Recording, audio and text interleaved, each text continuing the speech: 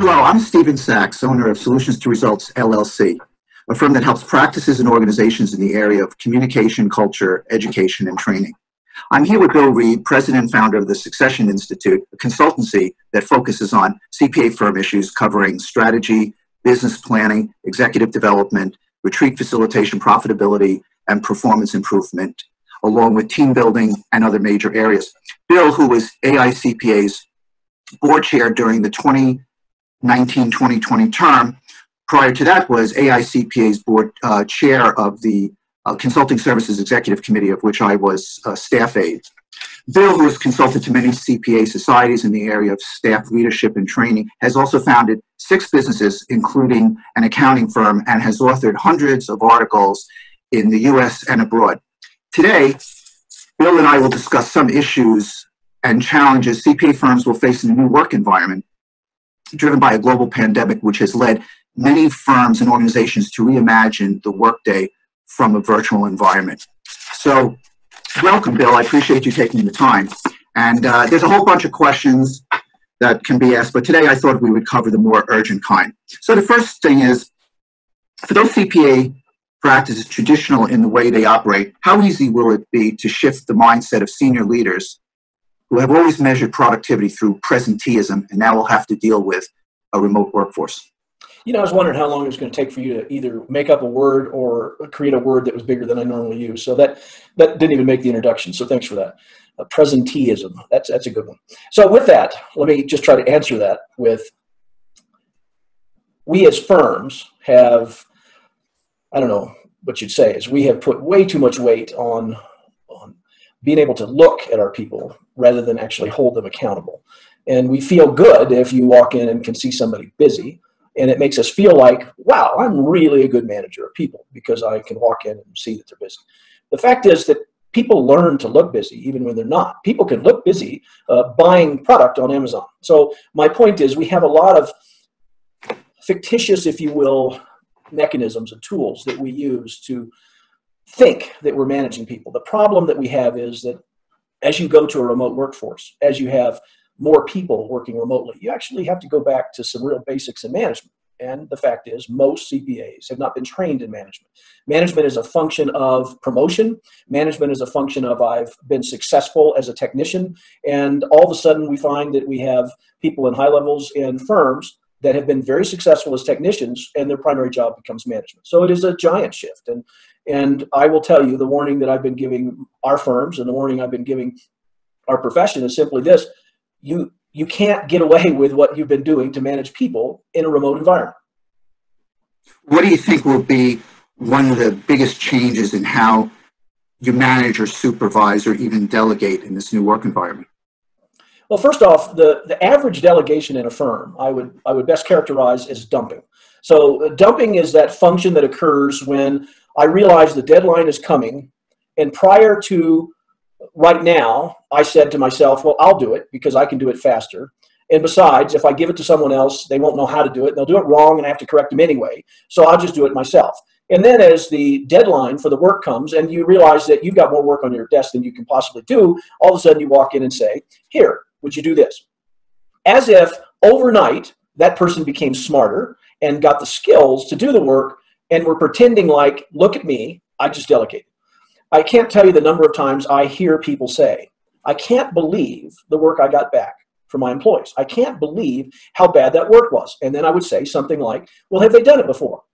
Well, they've done something like that. Have they done something of that complexity? No, but I figured they I figured they would figure it out. You know, I would. I would have figured it out. Okay, so when did you check on them? So you gave them the job when? Well, I gave it to them, you know, four or five days ago. I said, when did you check to see how they're progressing? Well, right now because it's due in about two hours. And so I asked for it and they said, no, it's on your desk. So I looked under and I found the work on my desk, or that's a metaphorically on my desk. It would be in my system. And they're surprised. And I said, so why would you be surprised if someone hasn't done this particular work of this complexity before? You didn't check in on them and you're surprised they did it wrong. As the way I look at it, or in the way I look at it, you should be surprised if they did it right. So you didn't give yourself any room to correct. You thought they would give you something right because you assumed if you had the work, you would have done it right. And that's probably one of the biggest mistakes that we have going on in our profession is the presumption that if I give you the work, you'll figure it out and you'll do it right. simply put, if you haven't done the work before successfully on your own with limited supervision, and let me repeat that for you, if you haven't done the work on your own successfully with limited supervision, then don't expect it to come back right. Well, it seems to me that what you're saying is under the the old way, with the problems of delegation and manage managers' expectations of what their staff will deliver and their their level of expertise. Now working virtually, you've you've exacerbated an already bad situation. So now the expectations that the work will be done properly are going to be lowered. I mean, right? Because now you don't have that face-to-face interaction. You're working virtually, and then you throw in other things about accountability the management of time, what is productivity, how do you get a question answered, are you afraid to ask your supervisor a question for fear of looking silly? So isn't this making an already bad situation worse when we talk about a virtual work environment? Well, you bring up about seven or eight good points in that sentence, so I, I wish I could remember them all. So remind me, as we go through it. but the bottom line is that at least if I could wander around, I could look over somebody's shoulder, and if I thought they were you know kind of puzzled or they seem like they're spinning i could just step in and say so what's happening show me what you're doing etc if we built habits that were good management habits then working remotely wouldn't be a big nightmare because i built habits i mean think about it when we when covid hit and all of a sudden we had firms that said I got to work remotely. They already had systems and processes in the cloud, and yet while a few people use them, they could be spread to everyone overnight because the systems were there. The problem is the systems and management are not there. So they're not used to checking in on them. They're not used to checking in early enough and often enough with them. So this absolutely exacerbates it. But what exacerbates it even worse is that I'm going to say at the highest levels of the firm, and I'm going to say, and, and, and certainly it can apply to anybody. So, so I'm just giving you a generality, and by definition, generalities are wrong. So I'm just saying, as a as a general talking point, the higher levels of the firm, being manager and, and partner and maybe some supervisor, maybe these people have enough knowledge of what they do. They do the same things over and over again, and they're fairly self motivated. Well, in a work at home environment, we actually may see increased productivity because I can tell you for me, without being able to travel for a while, all I did was work, eat, and sleep because there just wasn't anything else to do. It's not like I could go out and play golf because the golf courses were closed, whatever it was. Couldn't go to a gym, couldn't go to martial arts. So I was stuck and I just work all day long and I, I break to eat, I break to go to sleep. So productivity actually went up. Now burnout was part of that, but but productivity actually went up. But the fact is most of our people aren't necessarily that self-motivated. Most of our people don't know how to do their job in every facet of their job every day. And many of our people are not comfortable being isolated and working at home. So you have not only health issues, you have mental health issues. You have people that can get depressed really easy. You have people that now aren't used to this, but they can work and then do their laundry. They can eat lunch. They can watch a quick TV show. My point being is that that work day, that eight or nine or 10 hour work day that we are used to getting, compresses into about four or five real work hours, and the rest of it is just spread into regular uh, household duties. Now, you add the fact that I'm also got, for many of our younger people, childcare duties and childcare management, then that eight to 10 hours becomes a bad four or five hours. So we've definitely lost productivity. But when you have people that don't know how to do the work they're doing, then you have a lot more spinning because we don't have check in. And you brought it up. Am I comfortable reaching out to my my boss and saying, hey, I don't know how to do this because they're fully expecting a phrase like, really? I thought anyone at this level would know how to do it. I certainly knew how to do it when I was at your level. Are you a moron? So they wouldn't say those exact words, Stevie, but they would show the eye contact and the, uh, by the way, this, or the eye roll, or whatever it was. They would do whatever it took to make sure that they communicated that they were disappointed. And that you're, by the way, seeing my dog pass through. There's no telling what animals and uh, what background we will have. Well, that, that's okay. I, I realized I wasn't hallucinating. it's not today. Um, that, those, those are good points that, that you bring up. So, um, did that hurt to say, by the way? They're good points I bring up? Uh, yeah, not, not that painful. I internalize everything. but be that as it may, oh, people, we got a million of them. Do you think it's going to take some convincing of senior leaders that productivity is not simply a measurement uh, by time spent at one's desk? Because you did bring up before um, somebody uh, could uh, be sitting at their computer but really looking at different sites. They're on social media. They're doing things that are not um, work related. And when I bring up the word presenteeism, that was a word that, that came from the, the book Why Work Sucks. And it's about uh, the ROWE theory, results only work environment. You know, so you have a split screen on one side, you have somebody who's in a suit and tie, they're sitting at a, a board table, and behind them is a, uh, you know, a, a library, books and things, and they're sitting on their computer. And then on the other side, you have a woman who's dressed in athletic wear and is on the telephone and is walking two or three dogs. So naturally, one reaction would be that guy who's sitting in the left is doing work and the woman is not. But in reality, he could be looking at sites, surfing the web, looking to buy stuff, and she is on the phone having a conference call internationally and domestically with people. So we have these preconceived notions, or I should say, those who've been in the profession for many years have a preconceived notion of what what work is, you know, and what productivity is. So it's going to take a little bit of time to convince leaders that productivity is not simply based on how much time you spend on the desk, plus the fact that we may enter the realm of big brother where spyware could be placed on someone's laptop. So if they feel you haven't hit the keystrokes in a few minutes, you're away from your desk. But you could have gone to the bathroom, you could have gotten a cup of coffee. This big brother aura is is really a little frightening. Your thoughts? Well, the big brother thing is is something that could occur. I, I think there's going to be some violations doing that in the home without permission. But you're you're right. That certainly could occur. There's already Big Brother everywhere anyway. Yes. Um, but the bigger point you bring up is is the the idea that I love busy, and I will tell you that any good young person or or any good person that has technology skills is very adept at, at hitting the alt tab key to go from the Amazon purchase screen to a document. So as soon as I hear footsteps, I do a quick flip, and there comes up the screen. And as the person walks by, they say, "Wow, Bill's working." Yeah, and I just flip right back. My point is, we have a we have a lot of people that have developed habits around looking busy, and we coined the phrase since we're making up words of presenteeism. Uh, and I'm glad you then put me in my place to point out that you got it from reading, which if I read, I might know that. So thank you for pointing that out. But we we call it linger put. We have a lot of people that give more credence to linger put, how long you hang around, than output as to what you actually accomplish. And and when you have people like me, for example, who blends work with play all the time. So I don't play on weekends and work during the week. I work all the time. And if I have some time, I'll go out and play right now and then I'll make up for it on the weekend or whatever. So there the I know I'm going to be working or playing. I just don't know when, and I will make those choices. But if you took a moment in time and said, for example, yesterday, where was Bill? Bill was at the golf course. I worked in the morning and I worked in the evening. I worked this weekend. I promise you, I put in plenty of hours. That's not my point. It's just for many people, the blend of work and home life, work and play life, is just constant. So you can't judge somebody by checking in and seeing they're not there. They could be your hardest workers, but you don't know that because you're making it a point in time reference. Therefore, things have to be converted to output. What did you actually accomplish? And when you start looking at output, the fact is we as management haven't really taken the time to figure out necessarily what that output should look like.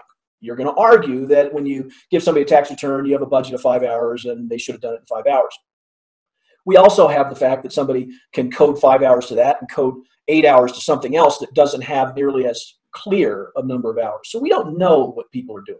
And I'm not trying to sound this like we're being paranoid or skeptical or anything else. I'm just saying when you, we already kind of abuse the management tools of checking in, verifying, training, having that a constant blend of what we do to interact with our people to now we're just busy doing our own work and we don't have the easy check-in that we had before. I could easily walk down and just find you.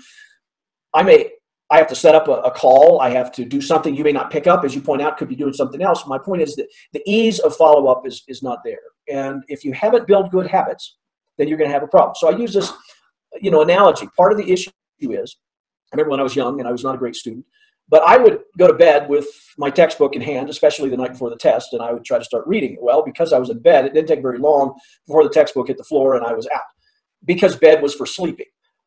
I had to develop habits where I studied at a desk. Why? Because the desk was not for sleeping, it was for working. And so when you're in your house working and you're sitting at the kitchen table, you're sitting on your couch trying to work, all of those things create disruptions to your ability to concentrate, to focus, to work well. Uh, and we're, we're hearing people now, they're, they're, the firms are at least now investing in multiple screens and they're making sure that people are truly set up with an office in their home. Because if you don't create a work environment that lets you get focused and do it efficiently, I can just tell you when I'm on the road and I got one screen, I'm not nearly as efficient as I got when I have multiple screens. I just, it's not the same work environment.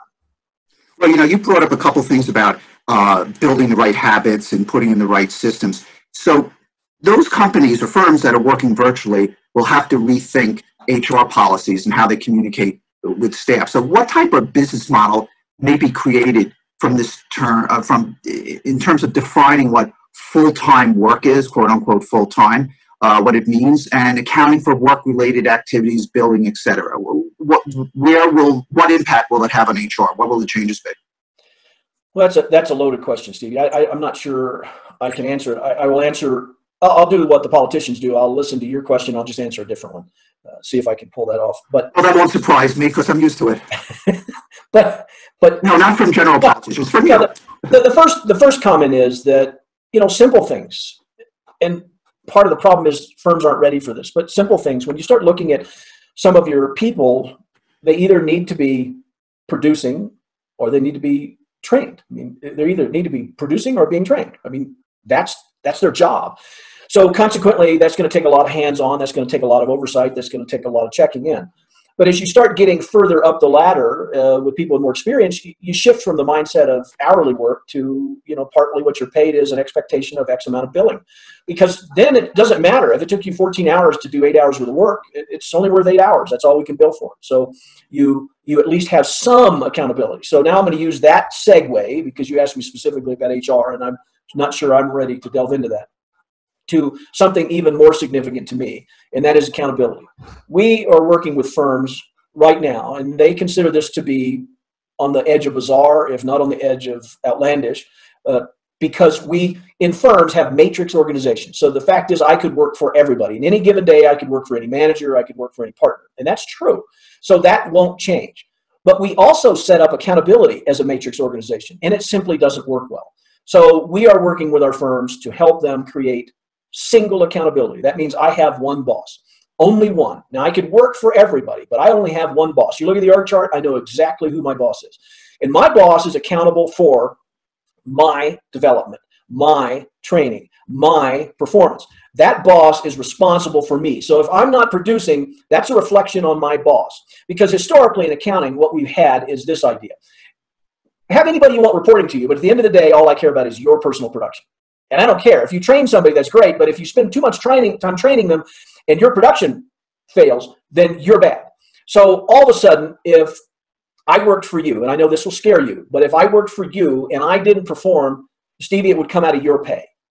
I'm not saying I wouldn't be impacted, but you have a stake in my performance. You can't afford to let me just wander around. You're either going to make me better, you're going to make sure I got work to do and that I know how to do it, or you're going to be, be uh, proposing that I be let go because you're not going to take a hit for my lack of performance. In today's environment, if you're my boss and I'm not performing, you'll probably just ignore me and get your work done and let me try to fend for myself. You cannot do that in today's environment. I need to know who's responsible for every single person. So I can, when I check on that person, and it's all the way down the ladder. It's not just manager or supervisor. Seniors will be bosses, could be staff, could be some bosses. We call them developmental coaches.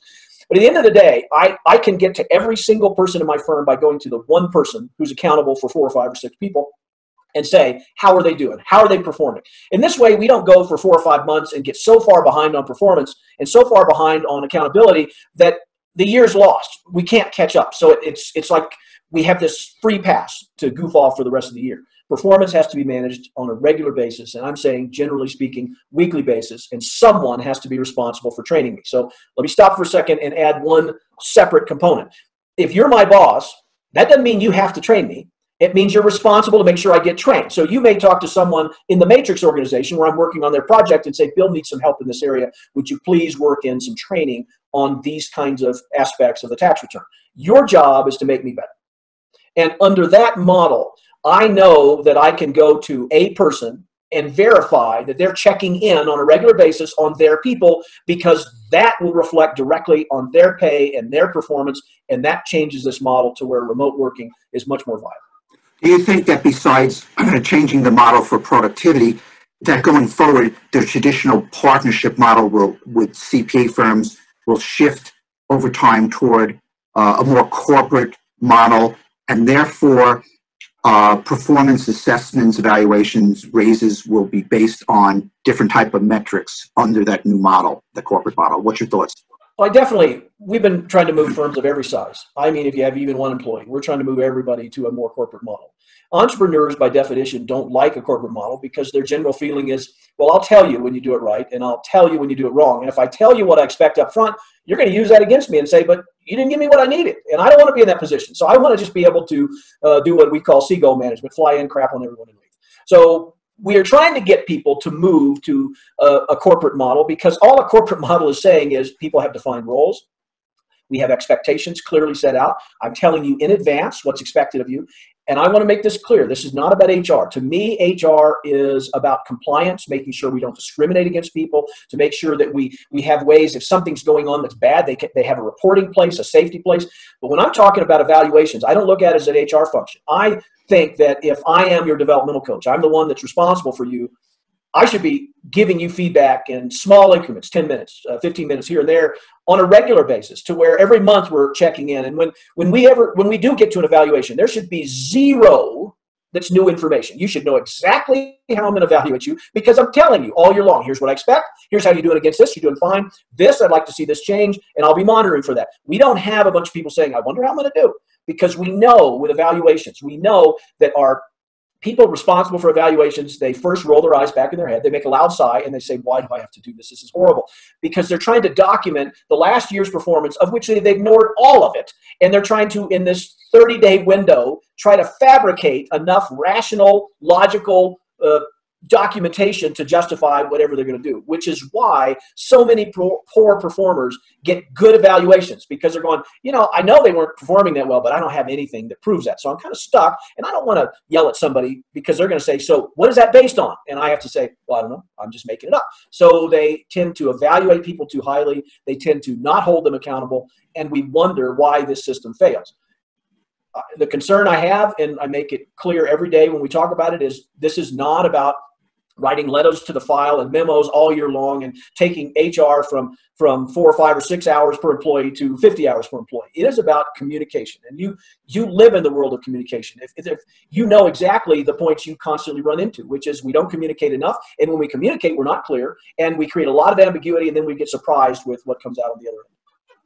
So the, the fact is that some of the performance uh, evaluation approaches and systems, to your point, um, I told you what I expected, whether you did it or not. It's it's sort of like on a visceral level, so so basic. But on the other hand, and I've heard you talk about this in uh, various venues in the past, and that is, you know, Joe hasn't been doing. He, he's not a he's not a star, but he's a worker bee. So I'm going to keep Joe because I know Joe is going to, to get the, the work done. He'll never, I'll never put him in front of any uh, clients, and I don't expect him to bee a strategist or a rainmaker. So by keeping that person there, the work is being done. And then as a partner, you're saying, you know, the work got done, it was within budget, etc. Um, but that's continuing bad habits. Will that change? Will the worker be uh, will it be eliminated? That person, or will that be a continued habit? Something that we just got to bite the bullet and say, you know, this is the way it is. Well, there's so many factors. You know, part of the issue, and I, I was just emailing a, a client last night, and I just said, you know, when you look at one factor, at this stage of the game, there's so much integration of multiple things together that it's not really clear. But the point you bring up is is critical. In the case of Joe, Joe may be an okay worker. Joe may get the work done. The fact is, most of the time we say things like, "Yeah, Joe doesn't do it that well," but I'm already stretching everybody else so far. I can't afford to let Joe go because it could put more pressure on my better workers, and I can't do that.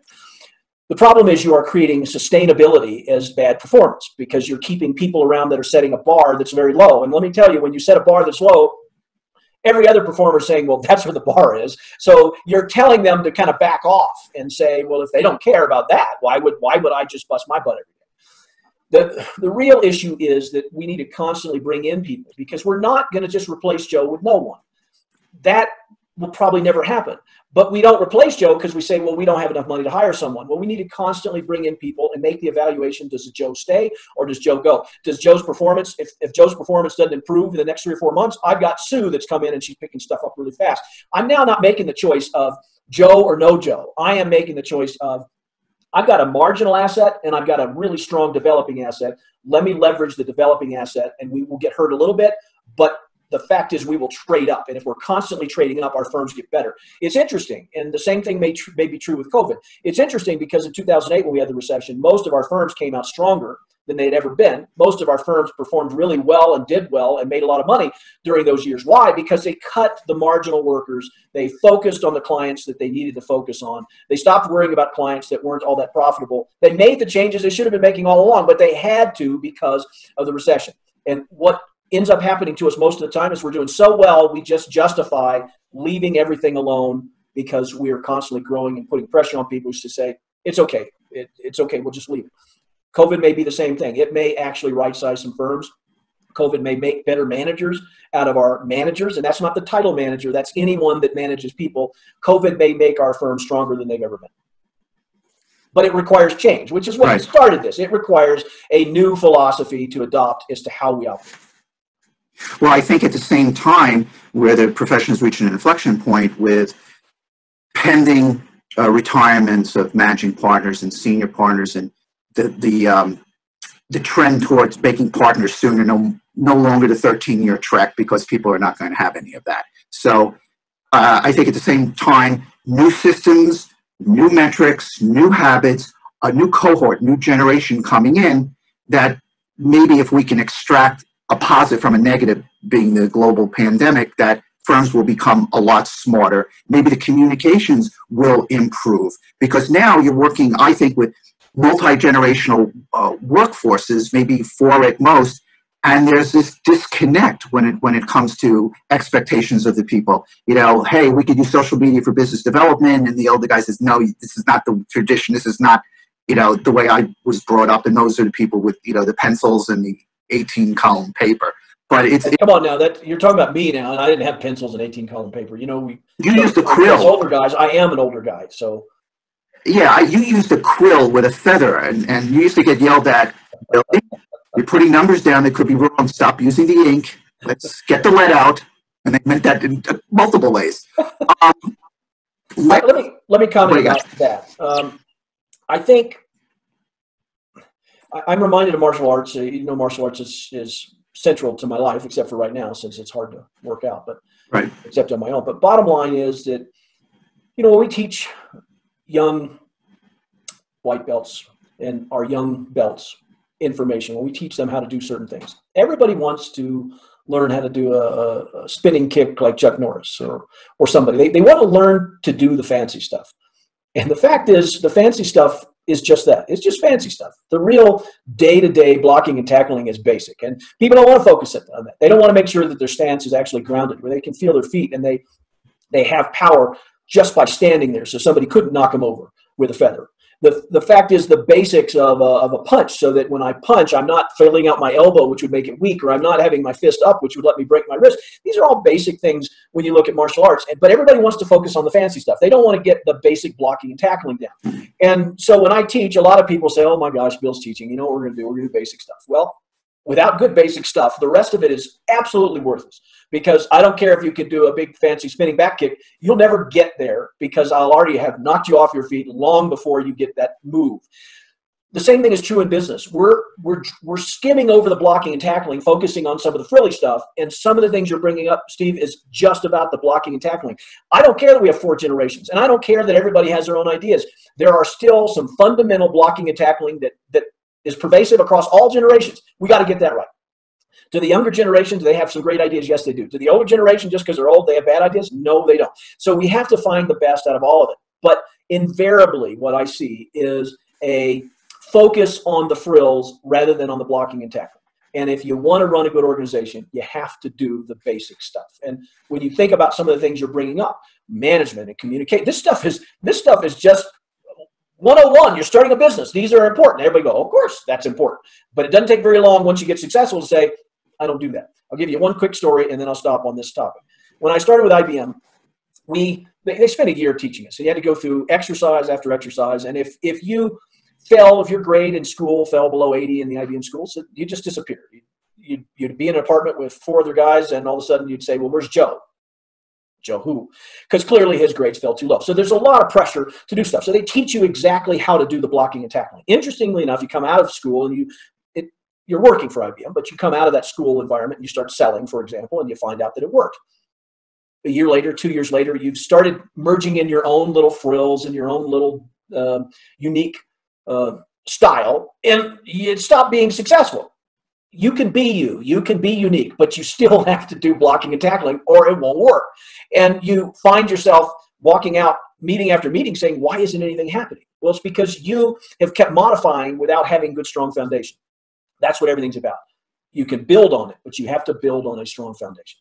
Otherwise you lose it all. List of your book is is absolutely appropriate for where we are. You know the fundamentals are what's critical and you need to take a look and say it's interesting because the new fundamentals, they're new to us because we haven't been doing them. So we need to go back and look at the basics exactly. make sure that what we're building on makes sense.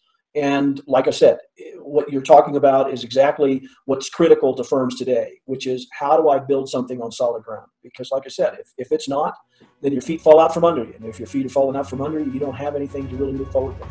Exactly. Well, with that said, Bill, I appreciate the time that you spent to provide insights to what the profession, CPA firms, and individuals and how to perform better. There's a whole bunch of questions I said that we could uh, cover, but we'll save that for another time. So, again, Stevie, thank you for the call, and I appreciate you including me in this, and it's always great to see you. Same here. All right. Be well, Bill. Bye. Bye.